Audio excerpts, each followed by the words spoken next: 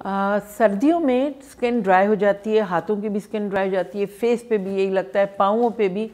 आ, मैं आपसे शेयर करूँगी जब मैं बहुत छोटी थी और कुछ चीज़ें होती हैं जब आप बचपने से देखते आते हैं ना वो आपके अंदर हैमर हो जाती है।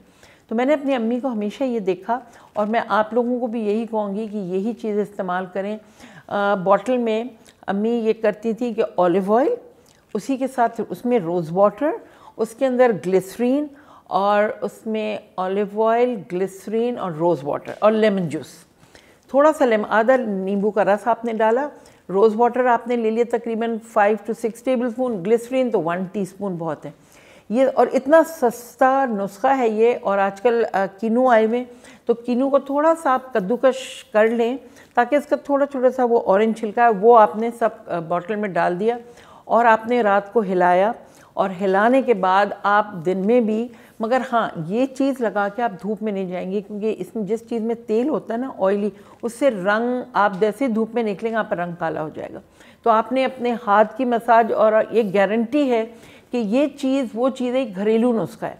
इसको आप लगाएँ, आप ये भी कर सकते हैं एक बॉटल लें स्प्रे वाली छोटी मिलती है।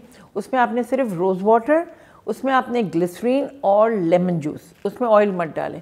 वो जब आप बाहर निकलते हैं या आप मेकअप करते हैं तो आपने वो स्प्रे मुँह पे कर लिया तो उससे फ्रेशनेस और एक ग्लो आ जाती है। तो दो तरीके एक में ऑलिव ऑयल वो एज अ मॉइस्चराइज़र काम करता है। आप पाँवों पे, एड़ियों पे, हाथों पे, मुँह के ऊपर आप लगाएँ, आपकी स्किन भी फ्रेश रहेगी और बहुत सस्ता इलाज है। तो एक और टिप के साथ हाजिर होती हूँ।